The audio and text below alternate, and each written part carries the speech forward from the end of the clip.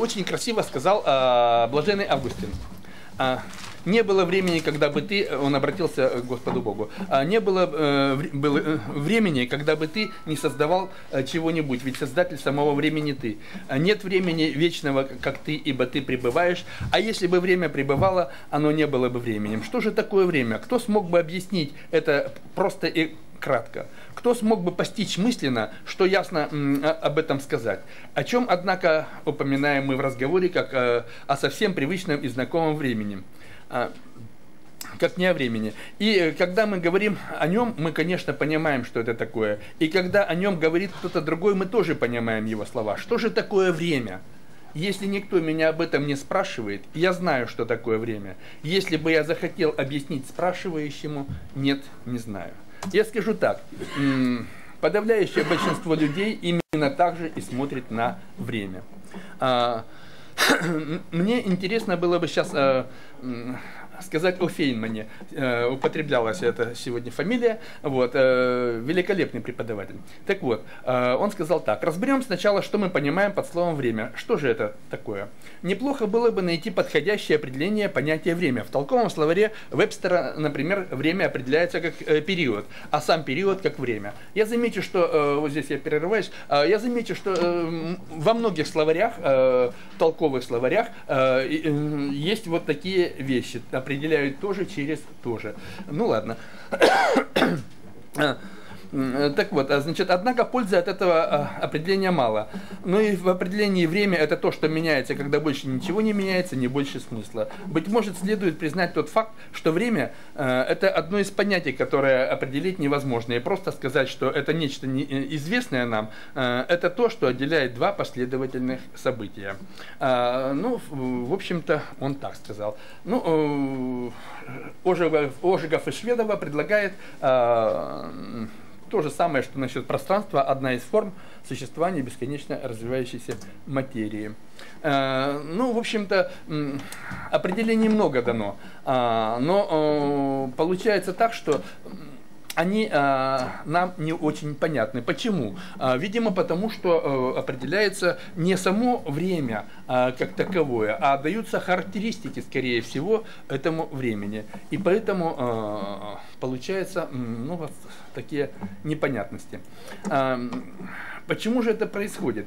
Э, не в том ли загвоздка, что, опять же, выражаясь языком Канта, время как вещь себе не существует, но все же каким-то неявным образом оно якобы присутствует везде. И в этом смысле время родственно пространству. В самом деле, продираясь сквозь дебри понятия пространства, мы вдруг осознали, что категория сия является абстрактной, следовательно, в нем ничего не существует и существовать не может.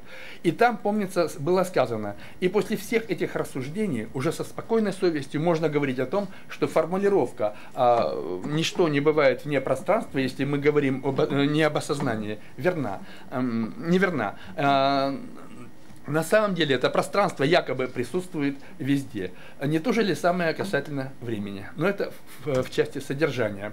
Что же касается формы, то опять же э, можно сказать, что ну, как, ну, как и в разделе пространства. А, эм, значит, мы пытались в э, примере моем э, компьютерном создать э, программу. Вроде мы не закладывали пространство, но это пространство там присутствовало. И точно так же мы не закладывали время, но мы закладывали, э, там нет такой функции заложить время, правильно, да? Хотя часы встроить можно, именно часы, но э, мы этого не делали. Э, мы просто заложили какую-то последовательность событий. И у нас получилось время. Но самое интересное что? Э, что э, если мы, скажем, сделали компьютерную игру, э, то, естественно, эта игра должна быть интерактивной. И э, э, пользователь будет э, иметь возможность влиять на время, потому что он будет изменять каким-то образом события. Э, вот в таком духе. Э, так вот, э, между двумя этими категориями, э, время и пространство, очень много общего. А, вот я и говорю, а не следует ли здесь поступить так же, как в свое время с пространства? То есть а, предлагается вновь перевернуть привычное представление, и тогда у нас а, получится, что не все во времени, а время якобы во всем.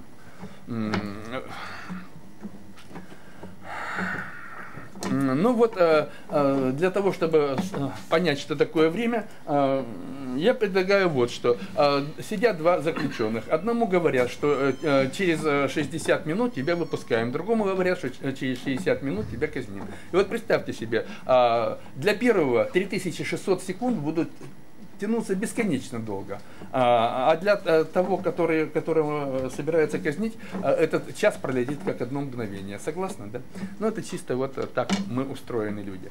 А, значит, время можно измерять э, не только часами, не только секундами. Вот. А время можно измерять любыми событиями, по сути дела. Вот токарь, например, вытачивает гайки, он должен вытащить за смену 100 э, гаек. Вот он и будет э, измерять э, свою рабочую смену именно этими гайками. Э, вот. Э, или нищий, например, собирает милостыню, естественно, он будет измерять в рублях и копейках, потому что часы ему не нужны. Ему нужно насобирать нужную сумму, чтобы потом можно было идти. Вот. Значит, э, даже взирая на мир с материалистической точки зрения, мы не можем утверждать, что э, природа матушка каким-то образом измеряет время. Но нет у нее часов, и никогда не было, и никогда не будет. Но в природе происходят некие события. Человек привязался к этим событиям и принял некую условную единицу измерения. Ради Бога, в большинстве обстоятельств это очень даже и удобно. Однако вернемся к собственному времени, без привязки его к часам. Ведь нам надлежит дать дефиницию этого понятия, а она видится на данном этапе вот такой примерно. Время это абстрактная философская категория, якобы присущая реальности и подразумевающая существующую последовательность событий. Но э, я подчеркиваю, это э, предварительная формулировка для того, чтобы можно было беседовать дальше. Э, попробуем исследовать эту формулировку.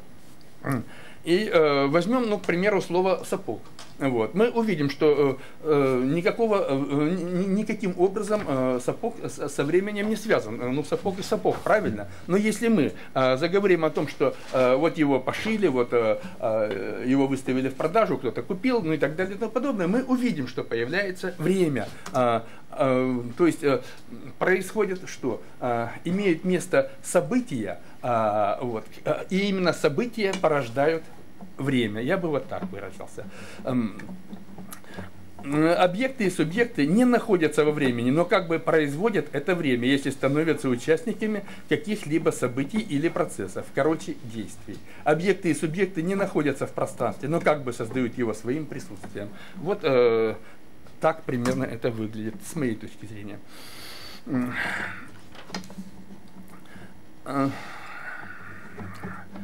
А вот относительно времени такое высказывание оказывается неверным. В самом деле, если нечто имело место, следовательно, э, имело место и некое действие. Значит, можно вести отсчет времени от того момента, э, я же, кажется, пропустил немножко, ну ладно. Э, получается так, что если э, в пространстве присутствует э, нечто, э, то мы можем говорить, что оно есть. Если его не стало, то уже э, а с точки зрения пространства его и нету. А вот с точки зрения времени а, мы о нем можем говорить, потому что время подразумевает и то, что было. А, в своем времени, в своем месте я давал э, дефиницию некоторым категориям в своей книге. Так вот, качество – это философская категория, подразумевающая способность исследуемого объекта, конкретного или абстрактного, иметь присущие ему свойства. Ну, э, событие – это результат любого действия. Э, я для чего даю э, вот эти дефиниции? Для того, чтобы ну, на чем-то базироваться. В общем, из нашей формулировки времени однозначно вытекает следующее. Нет событий, нет и времени. Для того, чтобы э, все было понятно, я предлагаю следующий эксперимент. Скажем, у нас есть некий ресивер, и у нас есть там воздух находится под каким-то давлением. Мы можем этот воздух переместить, скажем, в автомобильную шину, можем поднять давление, можем опустить давление, то есть перемещением воздуха. А, со временем вот такие а, действия невозможны. А, ко времени вообще никакие действия применимы быть не могут, потому что оно абстрактно. Так вот, время вне сознаний не существует. Если что-то где-то имеет место, но нет сознания, значит, э, оно вне времени в этом смысле.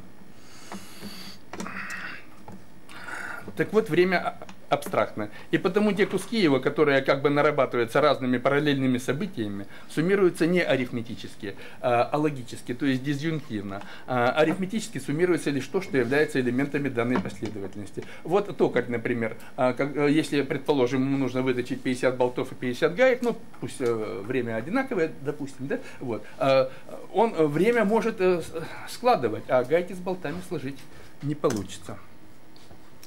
Вот.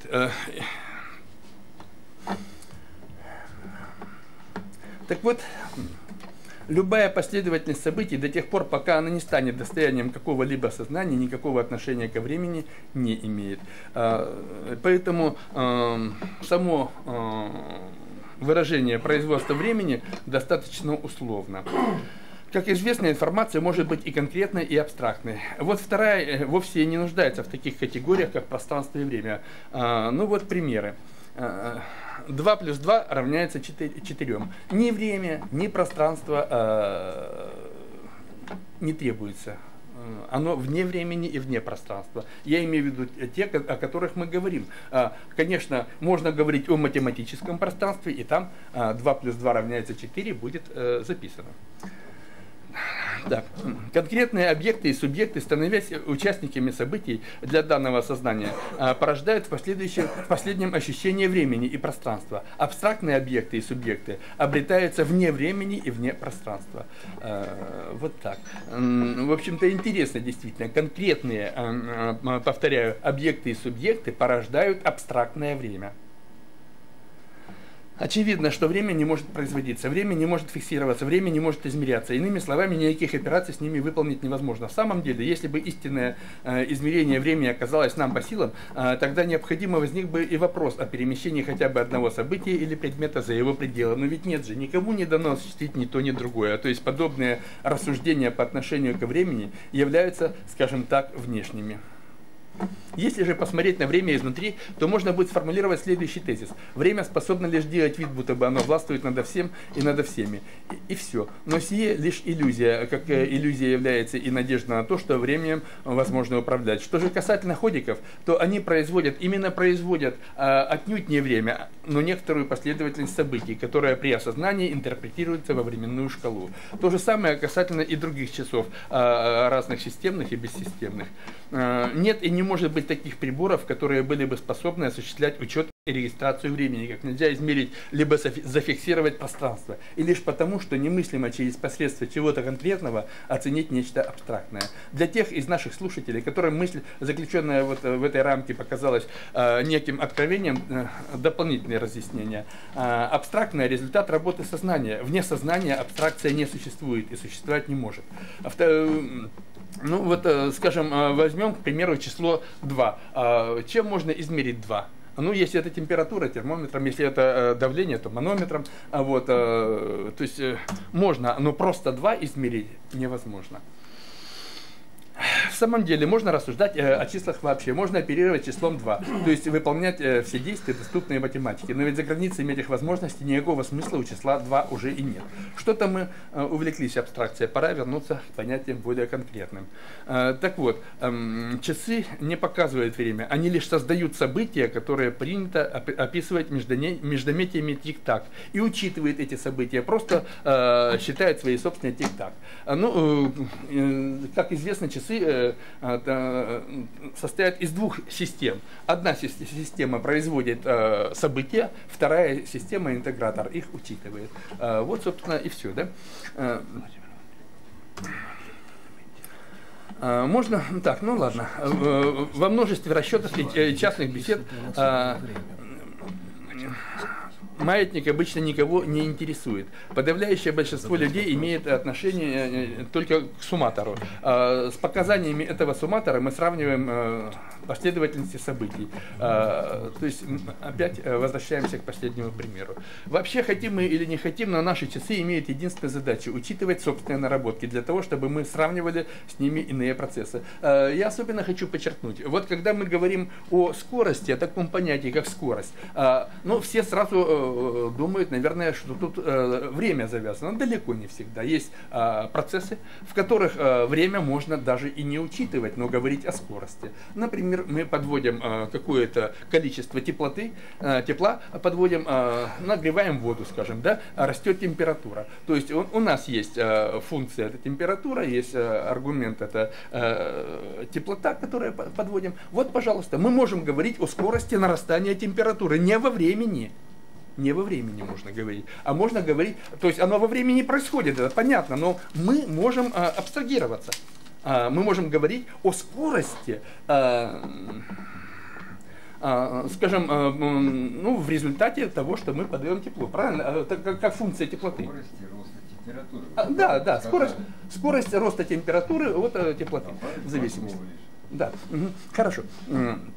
Так вот, э, невозможно э, сравнивать несоразмеримые вещи. Э, любые последовательности событий непременно содержат в себе нечто общее, и через эти, это общее могут быть сравнимы. То есть, вот я подчеркиваю, именно последовательности событий. Если нет последовательности событий, то о скорости беседовать тоже и не придется казалось бы, игра это постоянное изменение э, качественного состояния, ну, э, игровой ситуации. Но вот э, когда э, играют люди, они отвлекаются от э, нашей реальности, будем говорить так. Они живут в реальности игры, и они э, за временем могут и не следить. То есть преферансисты зачастую до утра засиживаются и совсем не замечают, сколько времени, по себе знаю. Вот. Э, или вот такая штука. А, значит, вот я примерчик такой хочу привести. Вот представим себе, посадили э, в камеру человека, э, вот он сидит там, и мы можем э, им управлять этим человеком очень интересным способом. А, то есть есть такое понятие, как рассвет-закат. А, ну, я занимался автоматикой, поэтому немножко знаю. Вот, скажем, в птицеводстве делается как? Курам вместо ну, сутки, в общем, им разбивают на двое, и получается так, что за сутки у них проходит двое суток, как будто бы. А, то есть у них 12-часовые сутки. Возможно такую же штуку сделать с человеком. То есть а, вот представьте себе, мы каждый день будем на одну минуту, ровно на одну минуту будем сокращать э, день. Режим будет жесточайший. Человек этого не заметит. И через год э, его сутки будут уже по 17 часов. Заболеет. А, Заболеет. Может заболеть, может не заболеть. Ну, ты...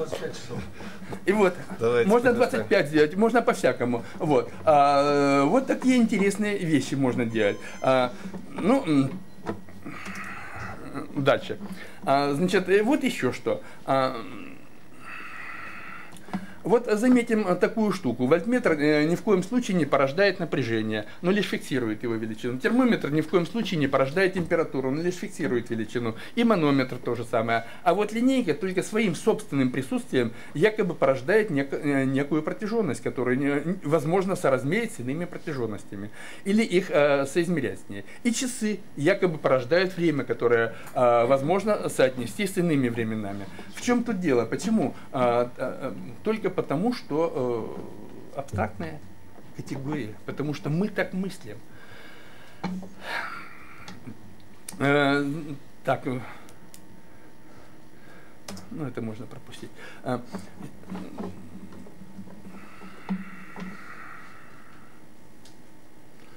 в общем, э, дело в том, что у меня мало времени, поэтому я пропускаю куски. Я мало того, что и так сократил, а очень серьезно этот доклад. У меня в книге.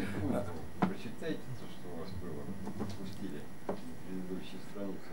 И что?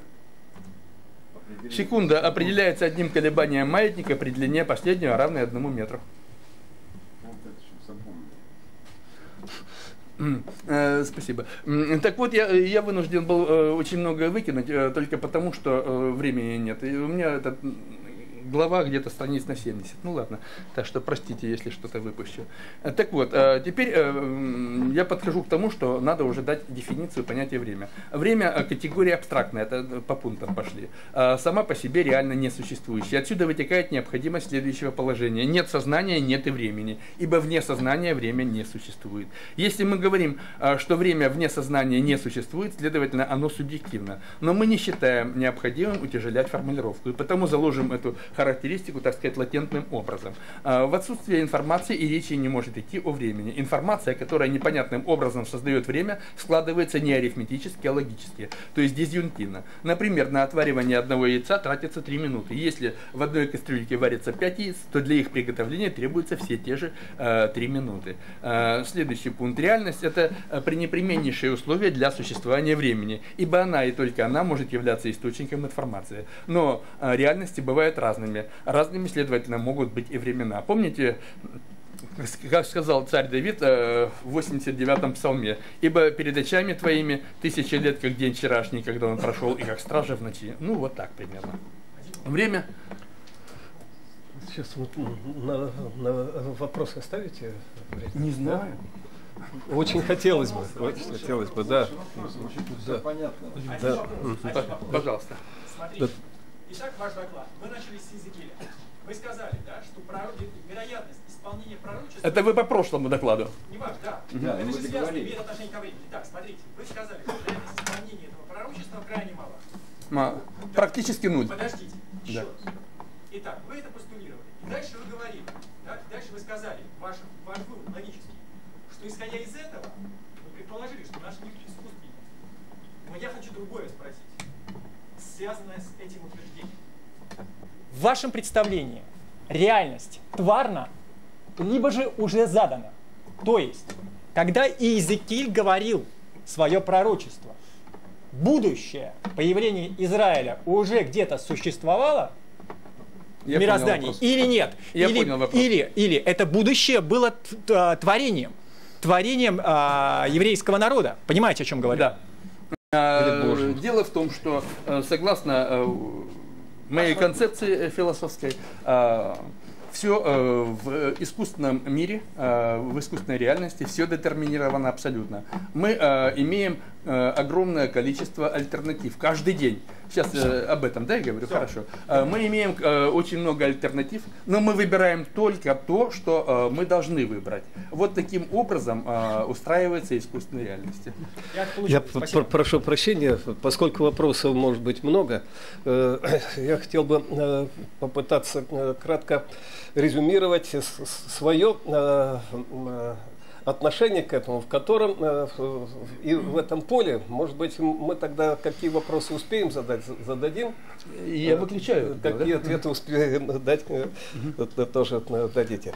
Э, Мне представляется, что в- докладе э, возникает некое напряжение, что ли, разрыв между абстракцией э, философской, которая существует у нас в голове, субъективной реальностью, и объективной реальностью, которая связывается с э, физическим временем, физическим пространством.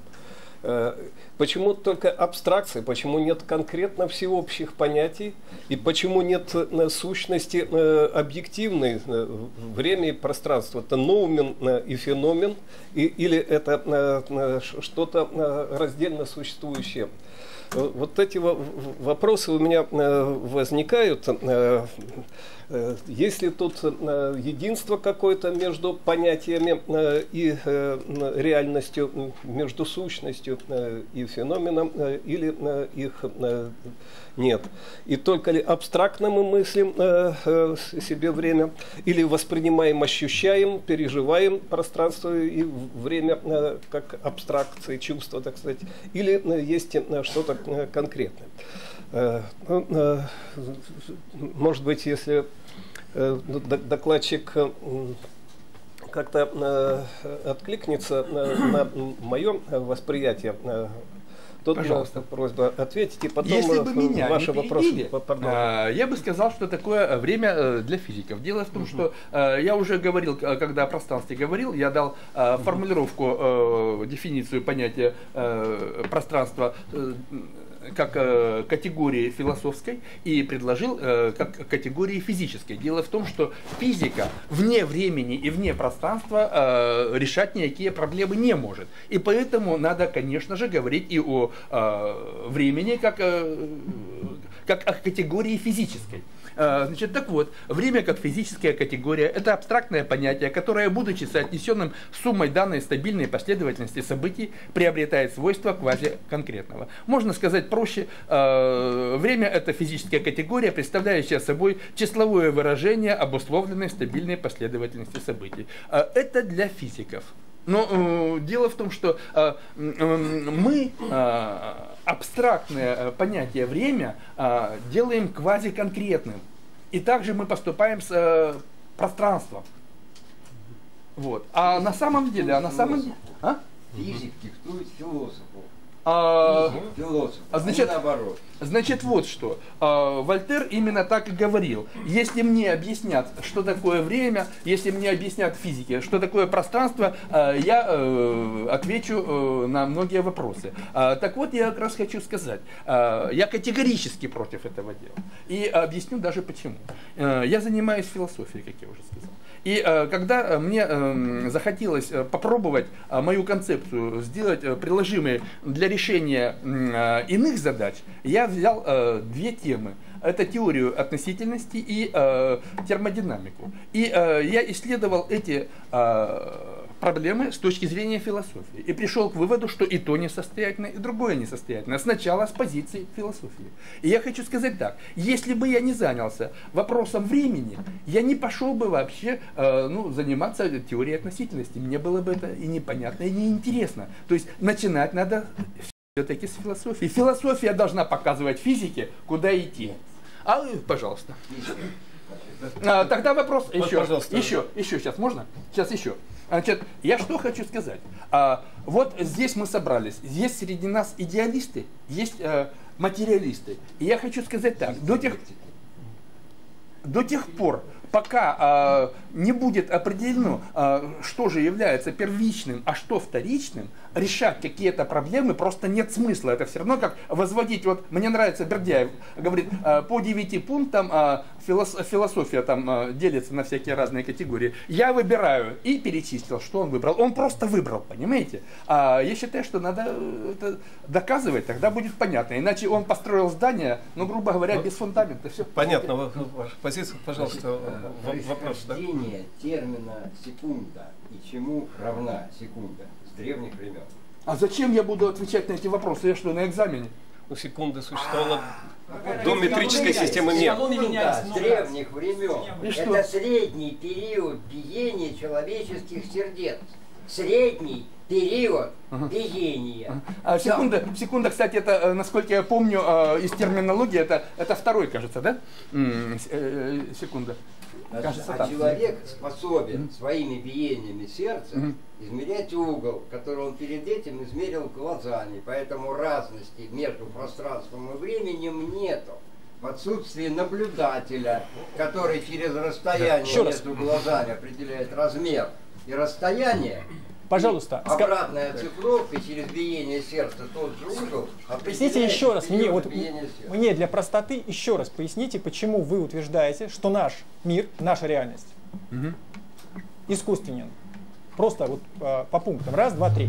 А, Искусственные Ну, тварные это разные? А? Нет, Искусственные тварные э, разные? это, это одно и то же. Чтобы я понимал. Одно и то же. Нет, это не Значит, одно и а- то же. Под тварным смотрите. э, Еще раз, смотрите.